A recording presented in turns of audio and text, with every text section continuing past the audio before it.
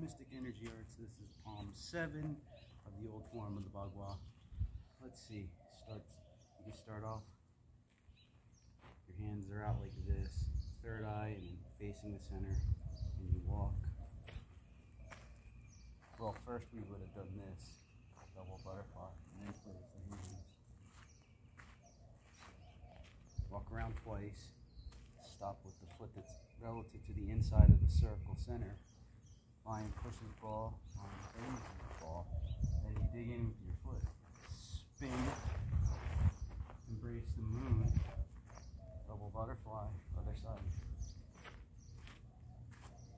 You do that, walk around twice. This hand is tracking the center. This one's relatively third eye, right here. Stop with the inside foot. Lion pushes the ball. Lion plays with the ball. Hands go up. Dig in with your right foot. Spin. Hawk reverses direction to embrace the moon. Hidden flower under leaves. And that's where it turns to eight. Thank you.